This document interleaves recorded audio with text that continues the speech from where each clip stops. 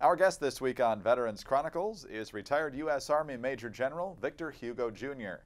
He is also a veteran of the Vietnam War. And General, thanks so much for your time today. Thank you. You're very welcome. Where were you born and raised, sir? Beverly, Massachusetts, and then moved to Marblehead and uh, grew up there until graduation from high school. And what type of history of military service was there in your family? None. None at all? No. How did you get interested in the service? I guess because my brother wanted to be a doctor and there wasn't enough money for both of us to go to college, so I decided to take the other route. Interesting. Now, some folks may be listening to this and thinking, Victor Hugo, I know that name from somewhere. You are related to the writer, correct? Supposed to be, yes, although I do not have the specifics of whatever it was. My niece does. So, do you enjoy I got the name, but neither the talent nor the money that went with it. Okay. do people ask you about it a lot? Yes, quite often. It's a great cocktail story starter. Excellent. And I hope you're a fan of the musical. Oh, yeah, very much. Seen it a couple of times. Okay. Um, tell us about getting into West Point. What did that require? Okay, um, first you took a civil service examination to get the appointment. Uh, I got my appointment from Congressman William Bates. He had the 6th District in Massachusetts. Um, he was killed in October in a plane crash out at National Airport. The, uh, Eastern Airlines went into the water there short of the runway. And uh, his son took over. He was a, um, I believe, in the Navy at the time. And he uh, was appointed to fill his, his father's vacancy. And he gave me the appointment, and then I took the entrance examinations for the academy and to include the physical and so forth, and was appointed and went in in the class of 54 in June of, or July rather, of 1950. How did your life change because of the routine and uh, all the different elements of what goes into being a cadet? Well, it changed drastically. You know, I mean, you. Uh, uh, I should mention, you know, after high school, I went to a prep school in Washington that was a cram school for the academies. And um, so I was fortunate, you know, in going there because plebe year academically was very easy for me because we took almost the entire plebe year at, uh, at Sullivan School. And um, I might add that I think there were 30 odd presidential appointments that year, and Sully got over 20 of them. So, uh, and a lot of the classmates that I had at the academy were also uh, graduates of Sullivan School. It's no longer there, but uh, it was a great, great experience. So when I got to the uh, to the academy, it was just really getting used to the plebe system, doing all the things that were required there, and then academically was pretty easy. How were plebes treated? A lot differently than they are now. Um, was sort of mind and matter. The academy didn't mind, and you didn't matter. and um, you know, it, it, the discipline was, well, it was a great different than anything we had endured before. Uh, but I was fortunate. I was playing athletics, both hockey and lacrosse, so it, it wasn't as bad for me as it as it was for some of the others. What's it like playing a major varsity sport at a military academy? Um, it, it, I don't know. I never played in college in any other place, but it was, uh, you know, it was very disciplined. You had certain characteristics, certain things that, you know, spirit and so forth that you had to endure. But uh, very worthwhile, I thought. I really enjoyed it very much. I asked the question because uh, there was an author a while back named John Feinstein. Yes. Who, wrote a book on football at yeah. uh, West Point and Annapolis, I think in particular, maybe Colorado Springs too, and where he made the point that at the academy, football or whatever sport you're playing is probably the easiest thing you do, whereas at any other school, it's the most rigorous thing you yeah. do. Well, you, you practiced every day. You know, your academic day ended at 3 o'clock uh, you went, you changed clothes, and then you know you went to the practice field. Um, if you were on a varsity, you know, an, an A squad, if you will, you usually had uh, late late chow, and uh, you didn't have to form up, you know, a ten formation, and you just went to the mess hall. You had your own tables, if you will, your own section in Washington Hall where you ate, and um, you know, when you had uh, the food was a little bit it, a little more. I guess you would say. You always got eight quarts of milk and so forth, and uh, but the rest of the food was the same, except on game days when you usually had steak and so forth and so on. Yeah, That's not too bad. but no, it was. Uh, it was it was a way of life, and you were part of the cadet cadet corps. You took the same classes everybody else did, and you just practiced every day. You didn't have drill all the time. Uh, you didn't have intramurals. You you practiced your sport. now, while you were there, we should point out that you weren't part of it, but there was a major cheating scandal that happened at West Yes. Point. Explain what happened and how that changed the academy. Uh, it was, I guess, it started during my plebe year. You know, at least the investigation did, and because I was playing course court sports, I was called in for an interview, and uh, and I was an academic coach for one of the people that was suspected. I might add that there, you know, there were probably uh, out of the 90 that were eventually uh, discharged, probably uh, I'd say the overwhelming majority were not cheaters. They knew about it, but according to the honor code, you know, you did not tolerate uh, lying, cheating, or stealing, nor tolerate those who did. And I think a lot of them knew, but they didn't say anything about, you know, their friends, and they went out as well. Um, and I know that during the summer between plebe year and yearling year, freshman and sophomore, that uh, those that were going to be discharged were brought to Camp Buckner, where our class was located, and it was during summer training. And and I would say I knew just about everybody that was part of the 90, and it was uh, it was very gut wrenching to see them and to to know what happened to them. Um, I felt very sorry as a consequence of it. Um, and it, it, it just was, you know, to see a lot of your good friends go out the door. And, uh, and that was just it. What was it like graduation day, being commissioned? Um, busy.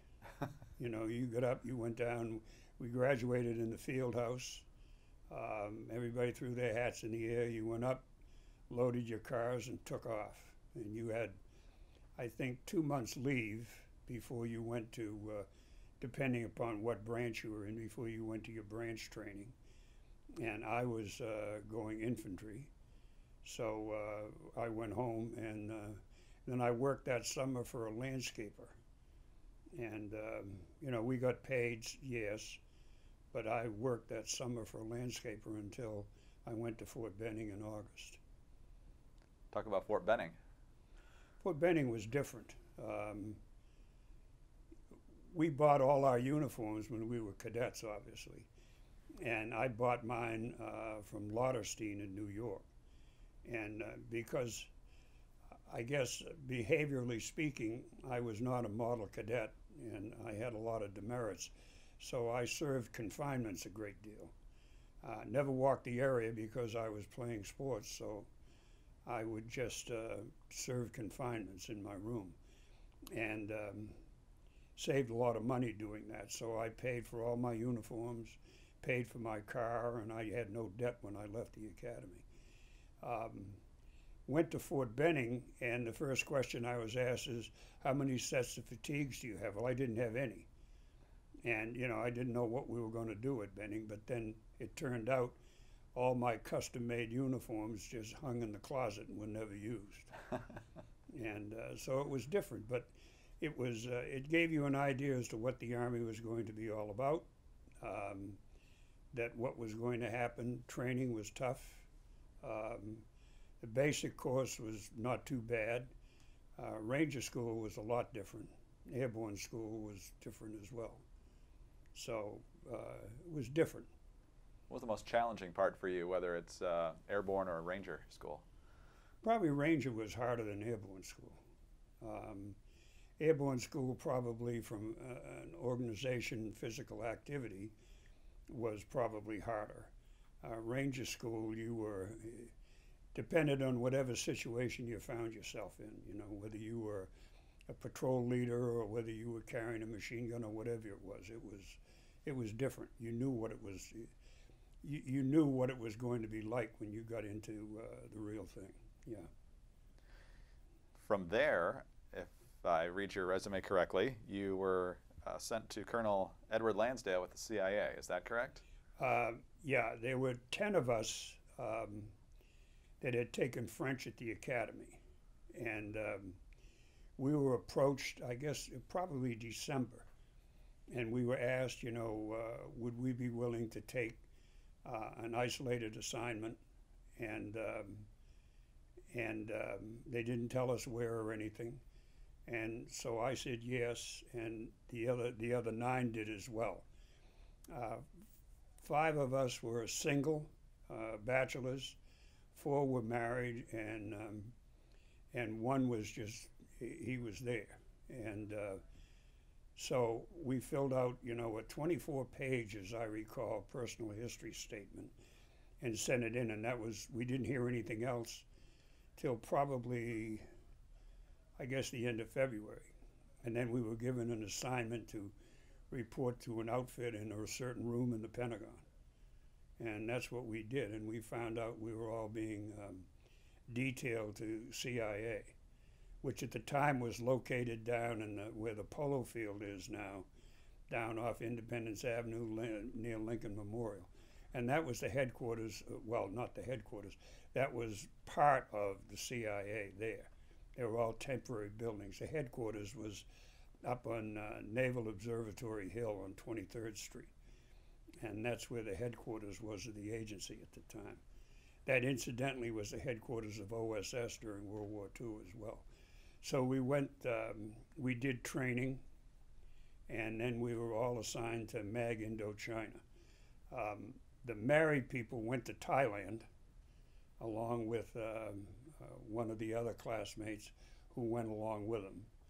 Um, then three of us went right away to MAG Indochina, and two were supposed to follow. Um, one followed and didn't stay but a couple of months, and the other one got married and didn't come at all. So three of us. There was Joe Palastra, who later commanded um, CENTCOM, um, myself, and a gentleman that taught school at George Mason, George Mosley. Mosley burned to death in a car accident, and Joe Palastra passed away a couple of years ago. So the last one alive is me.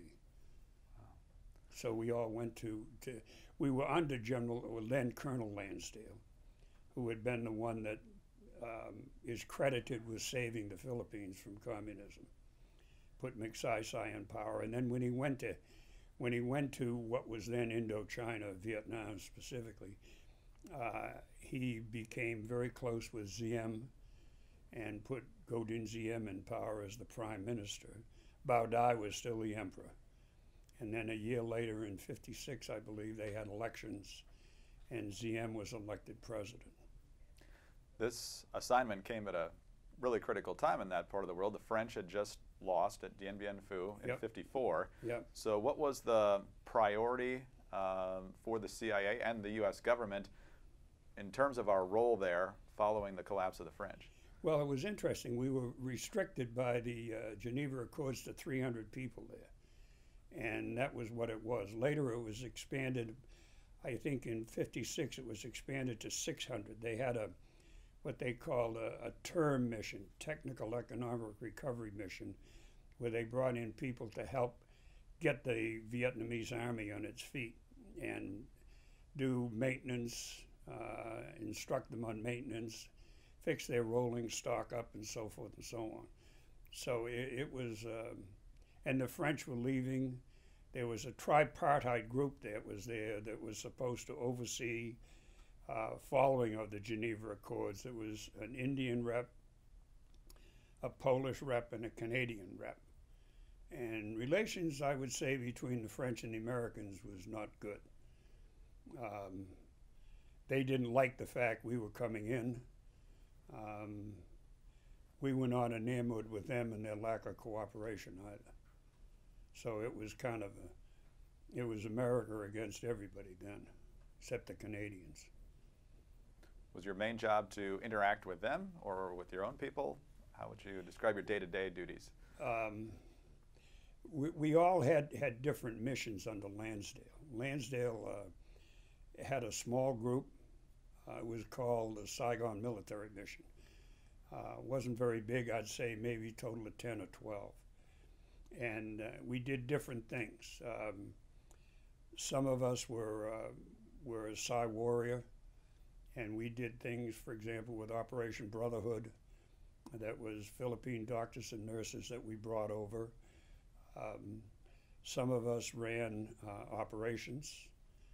Uh, some of us uh, um, took Vietnamese officers to the Philippines for training with the Philippine Scout Rangers and, uh, you know, acted as interpreter translators for them and so forth. So it was a variety of things that we were doing trying to, to build up. But, but um, Lansdale, I, I would think his mission was to really put a government in place there that uh, um, Iron Mike O'Daniels was the head of the MAG, and he was replaced in late 55 by uh, General Sam Williams. Hanging Sam, yeah. And um, they, uh, General Williams was very concerned about an invasion from the north. Uh, we were not as concerned with an invasion from the north as we were for, you know, for an uprising in the south. Because when supposedly both sides were to take their people, the south were going to take their people out of the north, the north was going to take their people out of the south.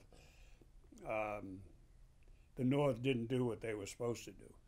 And with Operation Brotherhood, it was interesting because um, uh, going to the to the uh, outlying areas, if you will, to the bush. Uh, the first time many of those people had ever seen a doctor or a dentist or anything, and uh, when they saw what was happening, they started turning caches over to us. They started fingering people that were from the north that were there as uh, subversives and so forth. So it worked out very well. Now. Uh, Colonel Lansdale also had two Filipino officers with us uh, that were on loan from the Philippine Army. That was um, uh, Colonel Napoleon Valeriano and uh, Colonel Jose Banzon. And both of them were experts at uh, counterinsurgency. They had both been with the 7th BCT and were part of uh, people that Lansdale had put in positions of influence in the Philippine government. Now, one of the jobs the CIA has is to project what they think might happen in a given spot down the road. You talked about the, the threats coming from the north. Did anyone at that time have an idea of what was coming a decade later, or was no. uh, that was never on the radar? That size of a conflict? No, we, we were we were totally interested and focused and occupied in trying to get the South Vietnamese on their feet. That was the ball game. Now, unfortunately, um, um, the ambassador, I can't recall who he was when I went in, but uh, later it was J. Lawton Collins came in, and he did not agree with then Colonel Lansdale. And um, so Lansdale left the end of 56 and came back to the States, which was too bad. Um, you know, I always thought that you know, when when Diem was assassinated in '63, that um, had Lansdale been there, he would have talked him into allowing his brother Ngo Dinh to go someplace as an ambassador, and uh, that would have eased the entire internal situation in Vietnam. How do you think your time there, even though you had no expectation of what was to come in the 60s, helped prepare you for that in terms of what you knew about the terrain, the people, and the politics there? um, I think I think it was one. Um, most of us really believed in what we were trying to do in Vietnam. Um, I won't say most of us. I'd say all of us did, um, and we were committed to it. And so, uh, even though you know we left after a year and came back here, that uh, as a, as a lieutenant, and I was then in the Third Infantry at, at uh, Fort McNair, the Second Battalion, and we were asked to. I was asked to give classes on Vietnam, what it was, and so forth. People, most people had never heard of it, and didn't know even where it was hardly. And um, so I, I think a lot of that, you know, you were prepared because you did some research on it, you know, and you knew certain things. And then communism, you know, was the big boogeyman. And, um, and I think, you know, it, it helped a lot to understand what we were doing, what the Cold War was all about, and so forth. Yeah. What were your priorities in training the Army of the Republic of Vietnam? What were the challenges and goals there? Well, to begin with, most of them, um, I guess, uh, the senior the senior officers in, in the Vietnamese army had very little training. Most of them had been non-commissioned officers, sous-officiers, as the French called them. There weren't many that had you know had commissioned officers. They had not not had a great deal of training. You know, as when you think about you know what military officers go through training, and particularly senior officers, uh, they had had almost none of that, and so it was kind of learning on the go for them. Um, for the junior officers, we set up a military academy at Dalat, and uh, and then we would take these junior officers and um, take them to the Philippines, you know, for training with people. It was fortunate the Philippines used American equipment. They had all been trained by Americans. They used American doctrine, American tactics, the whole thing. Except they also had the experience of combating an insurgency and, and doing it in a way that they won. That was the bottom line there. Um, and so these people, they would help, you know, these Vietnamese officers to appreciate, you know, what they had to do. Like if they went into a village, they were not just to take what they wanted, they would ask for it and pay for it, and so forth. And you know how to act, how to how to conduct operations, and so forth. So in that respect, it was very worthwhile. Now there were no real operations, no combat operations during 55 and 56. It was basically Psy war and getting people to understand how they had to, what they had to do to combat insurgency. Yeah. So when you came back home, you had the opportunity to serve in the Old Guard. Yes. Which is a great honor, of course. Uh, yep. Tell us about your, your time there. We'll talk about your, your interesting connection to the Tomb of the Unknowns in just a moment, but what, what did you do day to day there? Uh, started out, I was a platoon leader in uh, E Company, 2nd Battalion. Um, we did all the honor cordons, you know, at the time out at National Airport. Um, we we also did uh, funerals that were outside, you know, Arlington Cemetery. Uh, you did training, um, and it was, you know, basically routine business there that you did, you know, that you would do in the army. You did training out there. You marched, you know, you did drill and so forth it was not terribly exciting, um, kind of routine, if you will. But but there were things that happened, you know, and so forth, and you got to. Um, you also got to be uh, very independent, you know, as to what you were doing because you you were sent to do things and you were on your own when you got there. Um, and I enjoyed that. Now I was there about um, in E Company about ten months, and then I was transferred to um, to the headquarters, and I was an assistant three in the regimental headquarters. And then shortly thereafter, the uh, regiment became a battle group, and um, so they moved part of the three to the two uh, S2 section and made the two the ceremonial group for the Third Infantry. So I became the ceremonial officer for the Third Infantry as a first lieutenant, which which was really interesting. Um, and we did such things as you know for all the that visiting heads of state.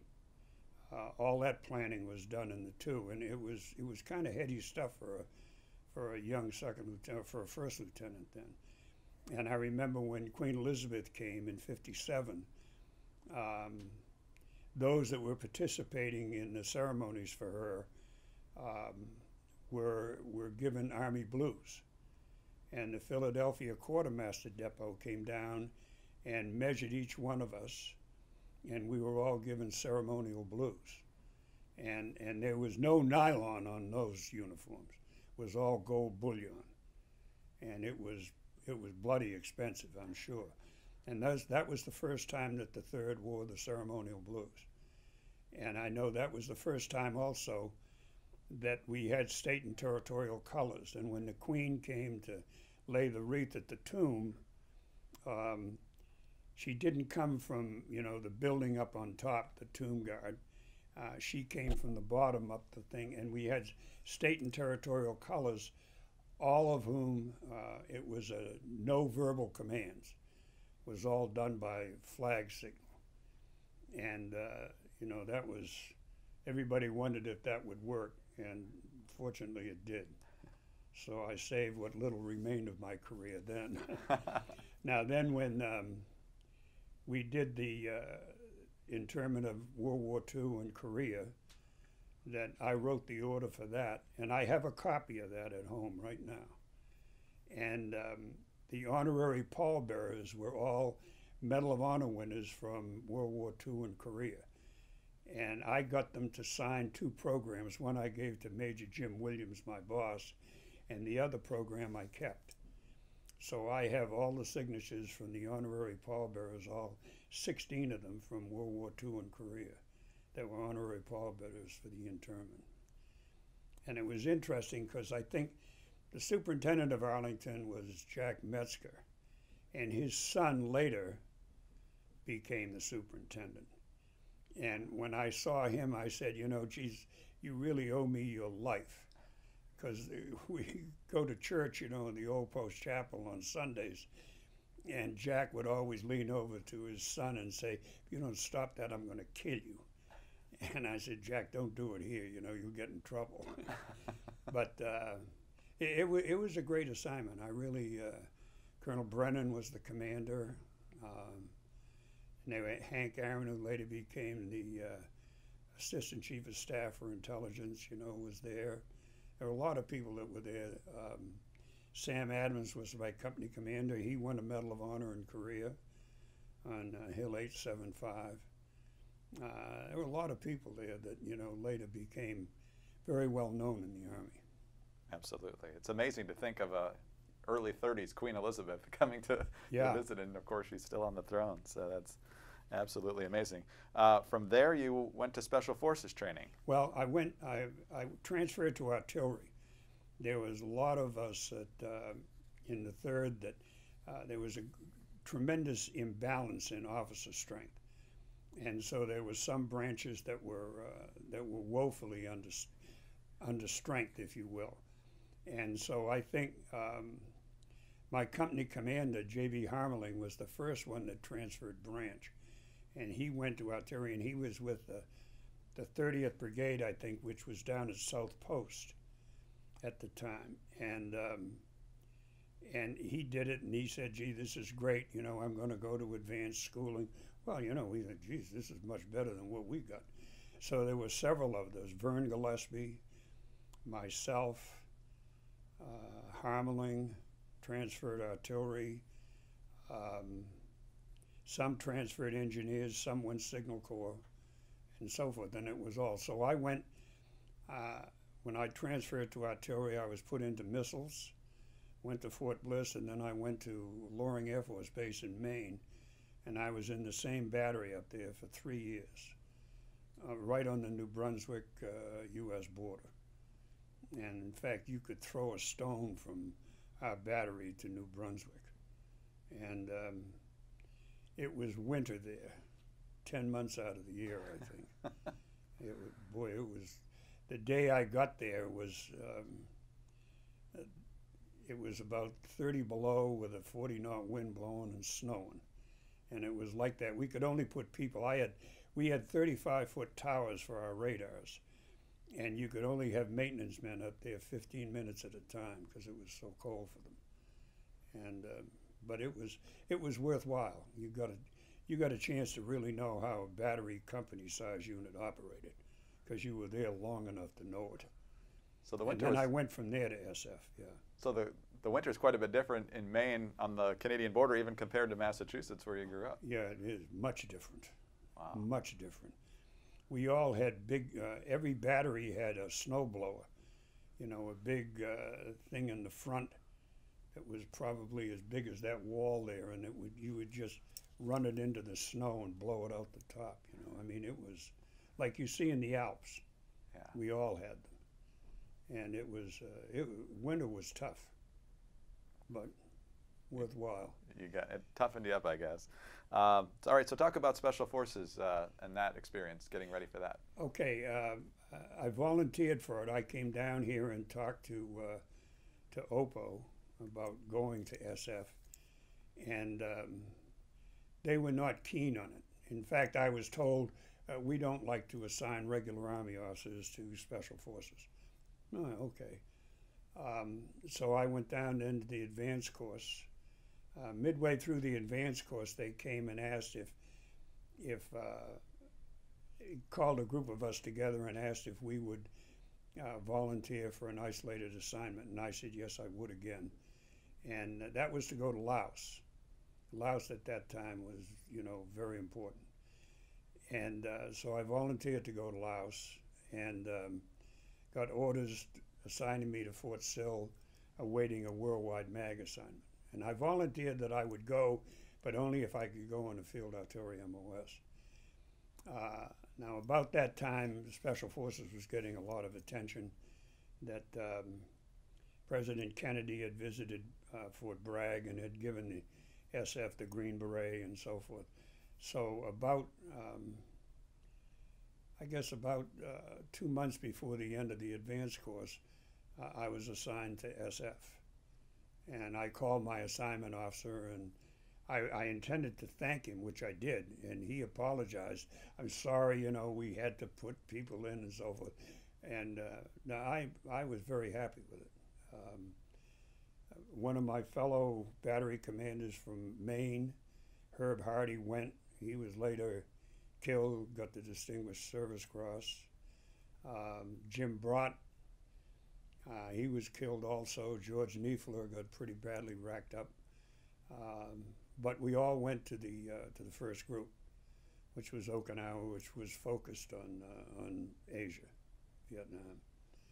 Uh, went through training. I became, I guess, because I had been in Vietnam before. When I arrived at the group, um, uh, Colonel Garrett, who had been my TAC at West Point, by the way, uh, was the commander of the group, and uh, so I was assigned to set up an area study program for every detachment that was going down to Vietnam. Now we had, at any given time, we had 32 A's in uh, A teams in Vietnam, and we had two B's, and the C was the provisional unit.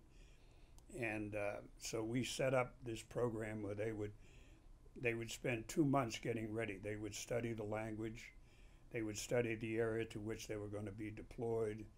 Uh, they would talk to people that had been there so that when they went in, they knew who the people were, they knew what the area was like, they had a good appreciation for what the enemy threat was there, and so forth and so on. So I set that up. When I got that set up, then I went on a mobile training team to Thailand for four months. Then I came back, I got my A team, and then I went back to Vietnam um, in, in the mountains with the Montagnards. Then I came back and I became the Group S2, and uh, until I left to go to Commander General Staff College. So you were in Vietnam this time from 1962 to 1965. I, I was there really 63, 64, and we went six months at a clip. And then I was on a special mission in 65. I was on a special mission in Laos and then back to Vietnam. And the reason being is um, um, there's a sect in Vietnam called the Cao Dai. Uh, the Cao Dai were one of the three principal sects. There was the Hoa Hao, the Binh Xuyen, and the, and the Cao Dai. The Binh Xuyen revolted in 55 against Diem. Binh Xuyen ran the dope and prostitution in, in Vietnam.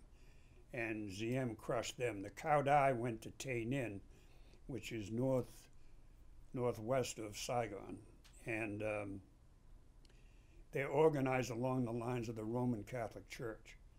The head of the Cao Dai was Pope Tac, He had a big cathedral in Tay Ninh with uh, the significant aspect, architectural aspect of it, was it had a big eye, you know, that just looked on everything. Oh, wow. But they also had a series of saints, and one of the saints was Franklin Roosevelt, and another one was Victor Hugo. So I was sent to work with them after the mission in Laos, and so I worked with them for a while. You mentioned earlier in our conversation the assassination of Ngo Dinh Diem. Yeah, And of course, later in the same year, President Kennedy's assassinated. yeah. Um, you're half a world away from the Kennedy assassination. You're right there for when the Vietnamese leader is killed. How did that change either tactics or the mindset of what might be coming next? for us at the, at the bottom of the food chain, chain didn't didn't change that much. Um, we didn't know what was going to happen. So most of us, I think, almost every A team that was there, just continued to do whatever we were doing.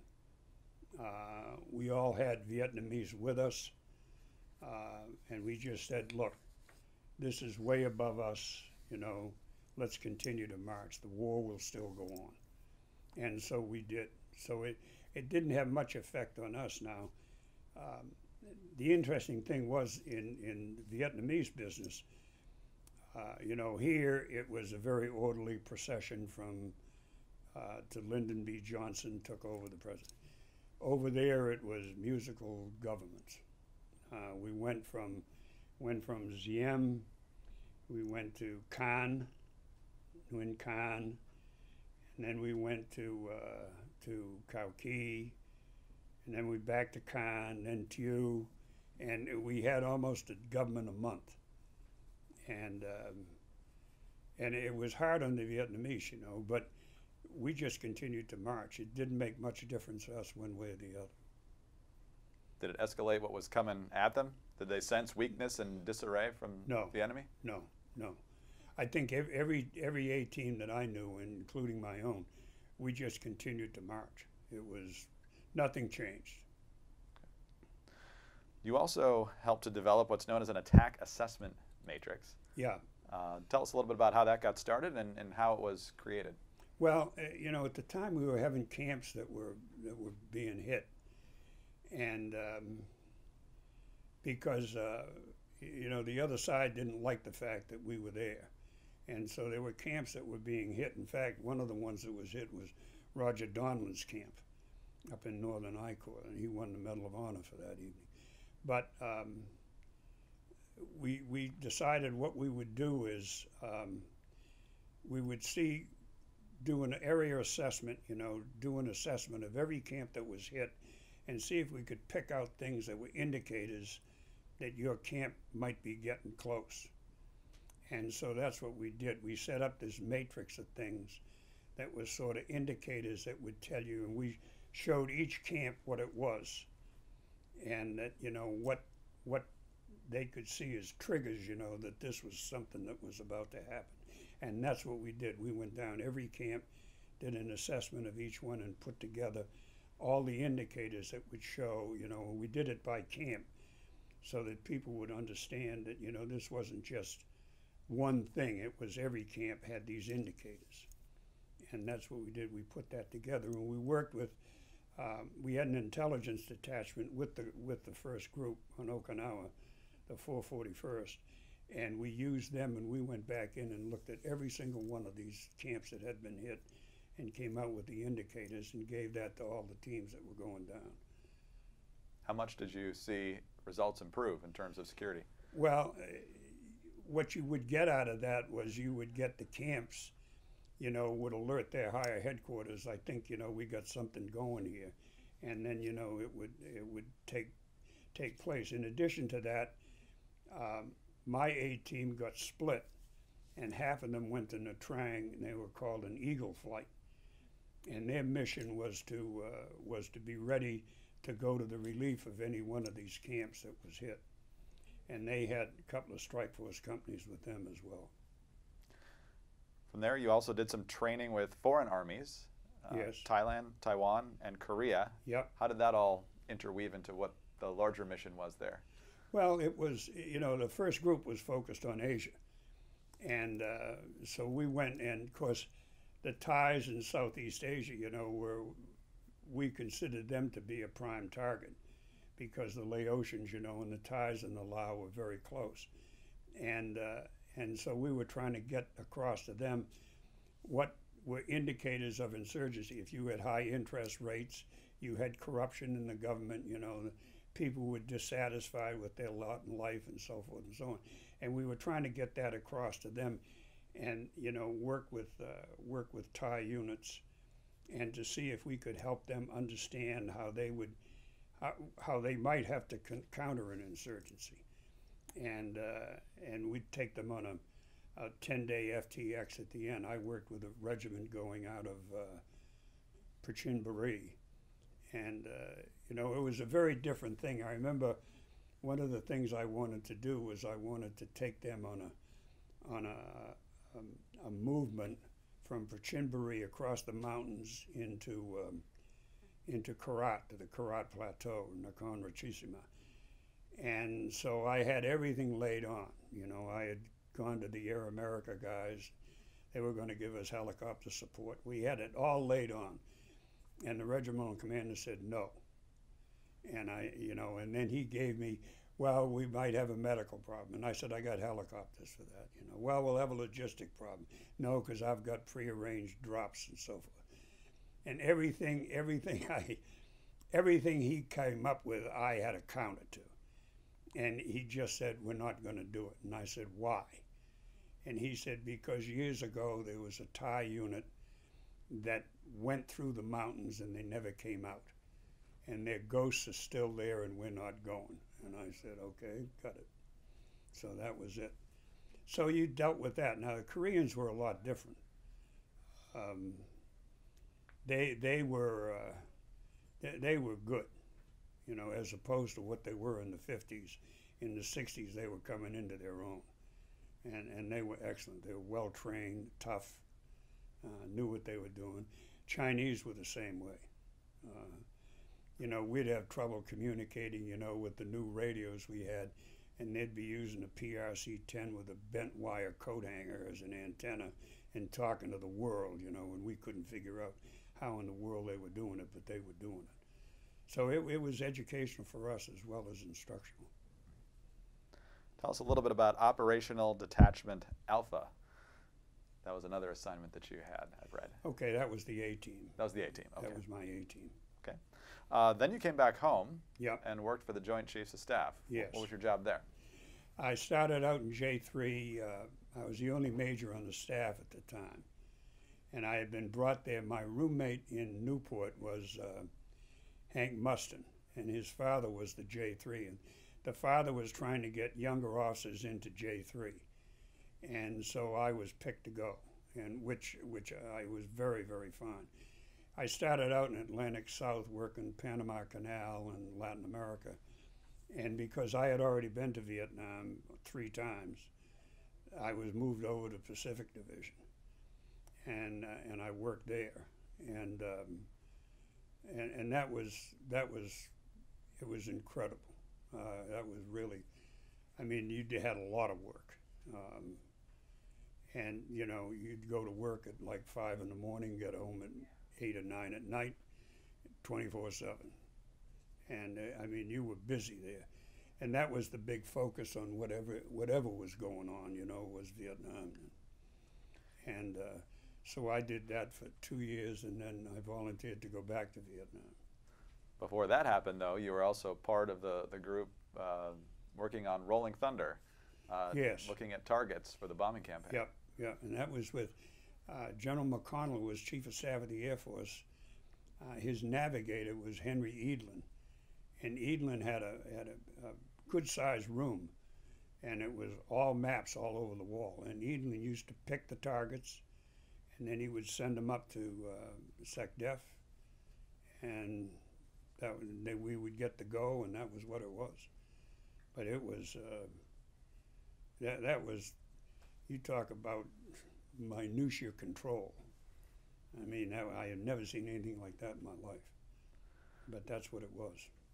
Just last week, we had the opportunity to speak with General McMaster, who, of course, wrote Yeah. the book on Uh, Yeah, dereliction of duty. dereliction of duty, and his major point is that the politicians kind of shove the Joint Chiefs of Staff out of the decision-making process more than they should have. What was your experience in the politicians versus military aspect? Uh, I would say that you know that's a hard thing to say. Um, I know that that uh, that McNamara ran it all. There was no question on that. Um, and and uh, uh, an Army BG, geez, what the hell was his name? Joe Plover. He and I used to alternate taking sit maps to the White House every morning and briefing them on it. And then we would have to go down and brief the Congress and so forth. Um, I think General Wheeler had a had a pretty good relationship with with the White House. I don't know about his relationship so much with SecDef. Um, and I know toward the end of, I guess, uh, 68, I'm trying to, Clark Clifford came in and replaced McNamara, and he, his assessment was get out of it. Um, which to a lot of us, you know, it staggered us that somebody would say that. And um, and I know in in um, beginning in '68 when they had case it was Tet and Khe Sanh, and oh, I think everybody in Washington, you know, that had anything to do with that war, was turned on with the Khe Sanh Tet business. Not so much with Tet as it was with Khe Sanh because everybody was saying, "Oh, this is the American Dien Bien Phu," you know, and so forth. And everybody, we briefed. God, we must have briefed three or four times a day, all over town, about Khe Sanh, and um, and you know there was just no question it was not going to fall. I mean, there was no way it could, and um, and that was what it was. But it, it it was it was a lot of you know very very minute control over everything that was going on. So the Vietnam you returned to, quite a bit different atmosphere than when you Yeah. when you left. So in March of '69, you're back there commanding the First Battalion of the 44th Artillery. Right. Uh, explain where you were and what your I was at. Dong Ha, which was um, pretty much the northernmost town in South Vietnam. Um, that's where the Third Marine Division was located, uh, and where my battalion was located.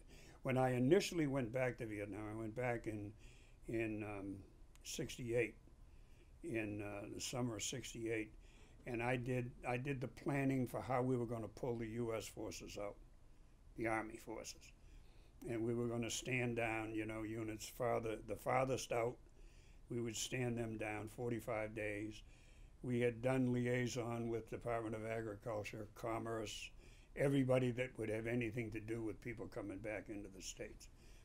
And uh, and then at the end, we were told pull a flag, and we did. We took the 9th Division out of the Delta, and moved them north to uh, Vung Tau, Cap Saint Jacques, and then sent them out and um, then I went and took the battalion up on the DMZ, where um, the defenses along the DMZ were Con Thien, uh, Gio Linh, Ocean View, and it went all the way out, you know, to Khe Sanh. Although Khe Sanh had been removed at that time, other than a place that we would do operations. So that's where we were located uh, at Dong Ha. We took, I guess, incoming pretty close to every night whether it was artillery or rockets. Um, about once a month, the ammo dump would go up, which was big Fourth of July operation. You know, I mean, it was a hell of a good show. Um, and I had people all over all over I Corps. I was in general support of I Corps. I had a battalion of Dusters that was twin 40s mounted on a tank chassis. I had 64 of them. I had uh, 18 quad 50s. That's four 50 caliber machine guns on a, uh, you know, mounted on a, uh, I guess a small chair, if you will. And I had searchlights, and I had I was in 30, 30 plus different locations in northern I Corps, and I used to visit them all once a month, drive or however I could get there. So that was it. What was your assessment at this point? I asked you before about the, the training of uh, Vietnamese uh, service members several years before this. At this point, how would you describe the caliber of our South Vietnamese allies as well as the enemies we Okay. were fighting? Um, the Vietnamese unit that was up there, in addition to the to the uh, Third Marine Division, was the Second uh, Regiment, Ben High Regiment, and it was commanded by an old friend of mine. Um, he and I had both been captains in. He was in the Luc Luong Dac Biet, Vietnamese Special Forces.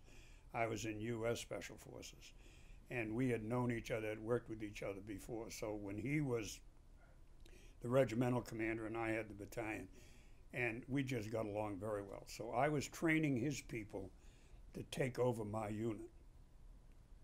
And, uh, you know, on maintenance, I had them working in our motor pool. I would put, you know, some of his officers with my officers to see how we did things and so forth. And it, it worked very well. He was a very, very professional guy. Uh, he later, after I left, he was given a division. The, his regiment was augmented and became a division. And as happens often in, in the military, regardless of U.S. or otherwise, when you make a new division, every other division is called upon to put people in it. And you don't give them the best you have, if you follow what I'm saying. Yes. And he got the culls. And when I left, there was a picture of him, I think, in 72, when the North invaded the South and came across the Cua Viet, the river that was up there that separated the two. And he was in the river trying to get his people to turn and go back, that the enemy was that way, not that way. So they invaded, and um, and uh, Vu was thrown in jail by Thieu, and then he was in jail up until the North took over, and then he got out, and the North threw him in jail again. He died about. He, they got to uh, California, and he died about three years ago. But I used to talk to him on the phone about you know once a month, see how he was doing and so forth. But but in my opinion, they were very willing people. Um, I guess my great regret is we didn't keep our word. We said we would support, you know, regardless, and we didn't. And they all went down. Two follow ups on that. First of all, how would you describe Vietnamization? Uh, what did it look like to you, and why didn't it work? Um, well, first of all, I think it was, you know, it was almost too little, too late. Uh, for me, it worked out very well because we just we had a battalion, we brought the people in, we did the OJT on them, you know, helped them, let them do maintenance on, you know, the different vehicles we had. Uh, we had their officers go with us and NCOs go with us on operations so that they could see what we were doing, how we were doing it and I think it worked pretty well. But you got to remember, there was a camp there, J.J. Carroll, that was inactivated, then it was reactivated. Uh, you know, it was a, it was a big area to control, and they didn't have all the assets that our units did. They didn't have a lot of helicopters, you know, vehicles were at a premium. Um, they just didn't have the assets that we had and they didn't have the experience either. Um, even though you know they would say, some of them would say to me when we'd come in, um, "Well, I know you're going to say this is the year we're going to win it. Uh, you'll be here for a year, you'll leave, and I'll still be here." And and some of them had been at war 20 years. Uh, my wife is Vietnamese. She was uh, she was born in 39 and all she knew when she left the day that Saigon fell and you know went out to the South China Sea and was picked up by a, uh, a U.S. ship called the uh, Kirk. There's a book on it called The Lucky Few. But until that time, for her life, from 39 to 75, all she had known was war. It was the Japanese first, then the French, then the VC, then the NVA, and that's all she knew. I won't say that's all she knew. She was smart. She was, you know, her family was well to do. and she was an, a French instructor at La Salle Institut Taberd, the best French school in Vietnam. And she came here and she wound up, she retired in 02 as the Director of Refugee Services for the YMCA. So, but, but, you know, we, we think, you know, our life, what you do, who you do, and all of a sudden you find somebody that 30 plus years, all she knew was war. Makes a difference. It makes a huge difference. It's Yeah. an amazing perspective, and her story is amazing too. I know Yeah. she's been profiled uh, before as well. Uh, after you came home, Yeah. you were very much involved in the debate over how to put together an army. In other words, the draft Yeah. versus the volunteer army. Um, talk about your position in that and, and how the decision making got made there. Okay, they when I came out of the War College in, I guess 72, 71, yeah, 71, and um, uh, General Westmoreland was the chief of staff. He had gotten a letter from a from a young major that was going to Marine Corps schools, Army major named Tony Nadal, and he gave his impression of what the Army was going through. Now Nadal was a had been uh, trained as a behaviorist, uh, social scientist, but a behaviorist, along with some others in the Army. And they taught MPNL at uh, military psychology and leadership at the Army at West Point. And uh, and he told General Westmoreland, you know, you're on your you're on your knees, in effect. And General Westmoreland decided he better do something. So he got a hold of um, uh, a BG that was down at 18th Airborne Corps called um, Emerson, Hank Emerson, the gunfighter. And he set up the CONARC Leadership Board. And there were, geez, I guess eight or nine, or however many teams, of three people each. And there was a field grade officer, a sergeant major, and a behaviorist. And we went through the Army talking about you know, the Army leadership study that had been done at the War College and the professionalism study. And, you know, to uh, most of the NCOs had a pretty good feel for what the hell was going on. Um, almost none of the senior officers could could understand it. You know, could even appreciate it. When we say, you know, your um, your readiness reporting is, it's supposed to be an indicator where you need help but it's turned out to be a, nothing but a lie. And oh no, that can't be true. Well, eh, they were getting an education as well. So out of that, uh, we went and we were on the road from, I guess, the summer of um, the summer of '71 to the summer of '72, and um, and we all got training down at the uh, Center for Creative Leadership in North Carolina, which was extraordinarily beneficial. And and a lot of that came out of that was the Sergeant's Major Academy. Uh, that was then at uh, Biggsfield and El Paso. Um, things like we did command climate surveys for new commanders coming in. I did it for every one of my battalion commanders when I had 32nd ADCOM. So they would have a feel. I mean, it was all done. It was um, there was no uh, no identification of people or anything. It was just here are the facts, and they could do with them as they wished. Um, and I'd say it, it had a lot to do with the Army getting back on its feet. You know that trying to stress things like goals, values, uh, integrity, you know, and the rest of this. And I think, and a large part of that was due to uh, uh, after Westmoreland, of course, came General Abrams, and he was pushing it, you know, and so forth. And uh, and he had a lot to do with.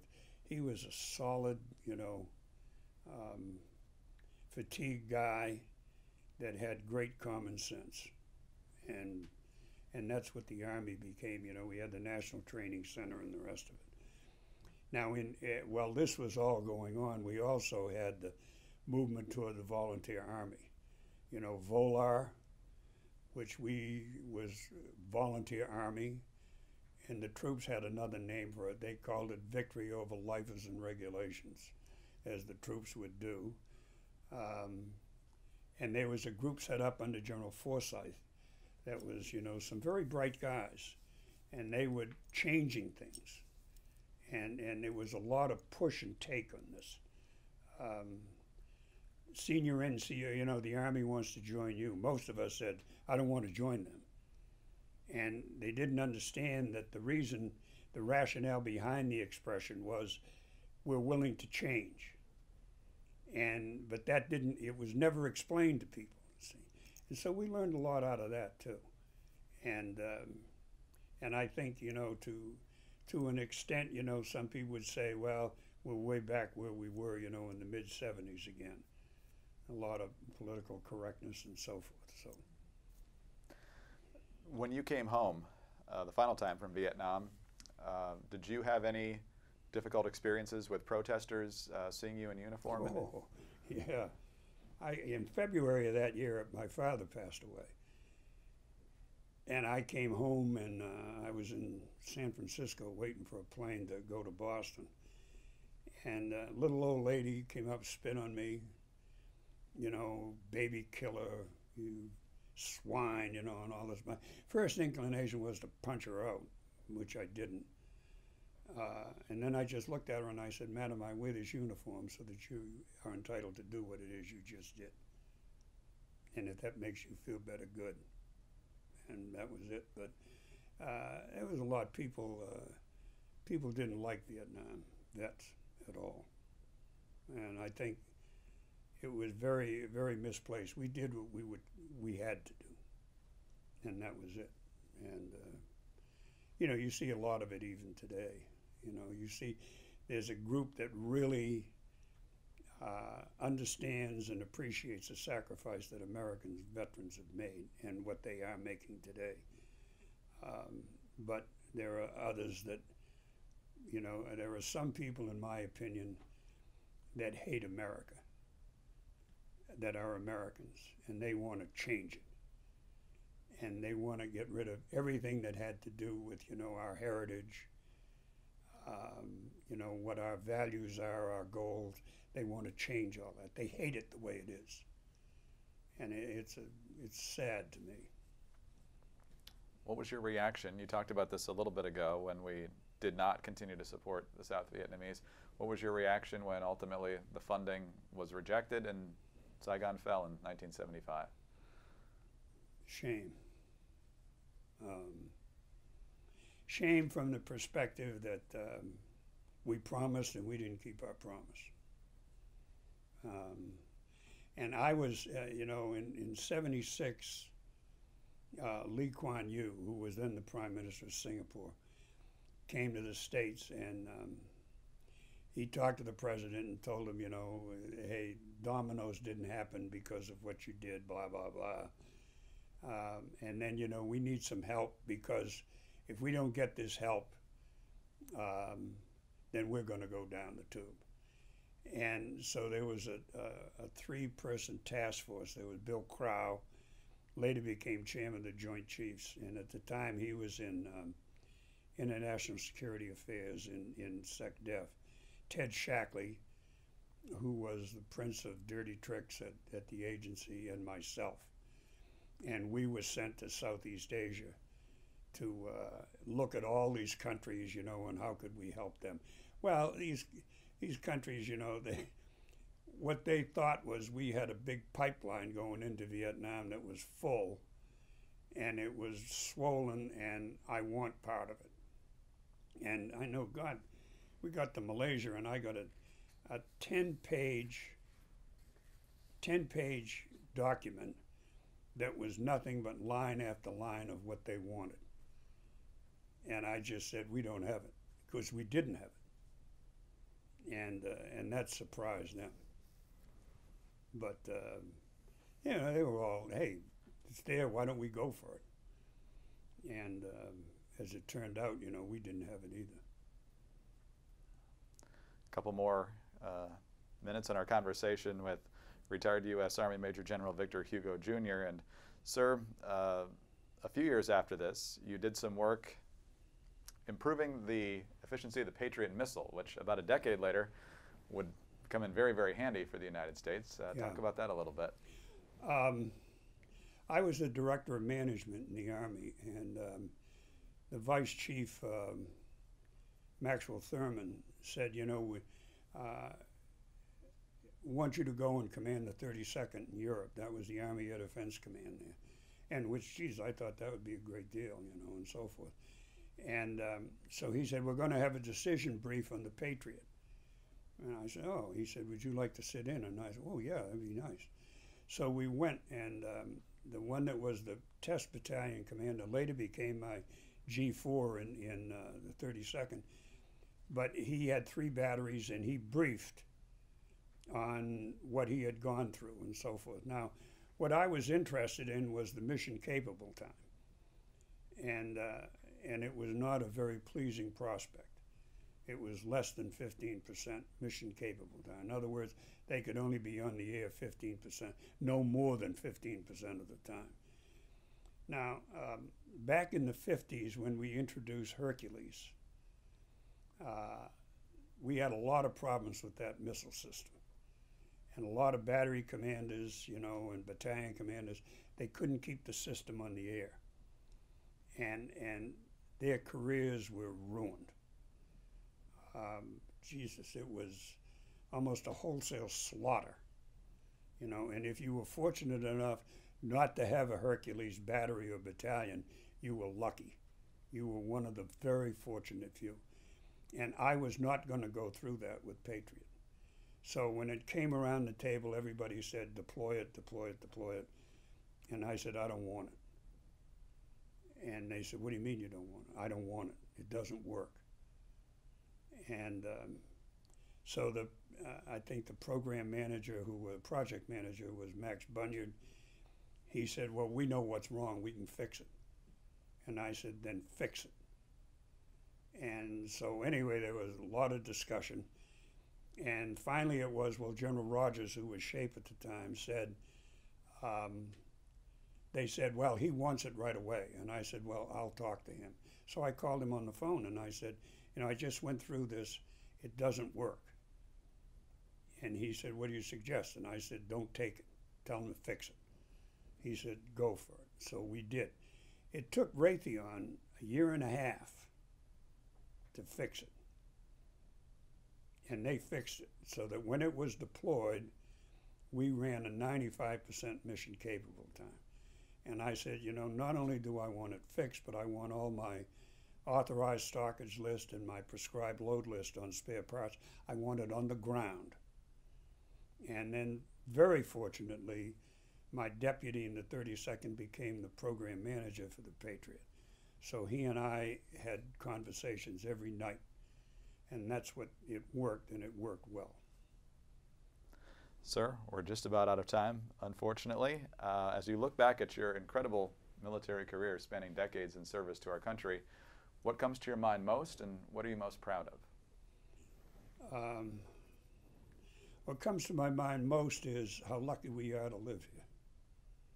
You know, uh, I think many of us have lived in other countries. Um, I lived in Saudi Arabia for eight years, you know. The, last great place in the world for a male chauvinist. And, um, and, and I liked the Saudis. I liked every place I've been. I got along with them all. But no matter how you cut it, this is the best place in the world to live. Uh, and it's worth any sacrifice anybody wants to make. And I think that what I'm most proud is a lot of the, the soldiers with whom I worked. Um, that how much they have given and how little really they are appreciated for what they've done for this country. Well, General, we appreciate what you've done for this country Thank and you. those you served with. Thank you so much for your service to our country, and thank you very much for your time with us today. We greatly appreciate it. My pleasure. Thank you very much. You bet, sir. Retired U.S. Army Major General Victor Hugo Jr., veteran of the Vietnam War. I'm Greg Corombos. This is Veterans Chronicles.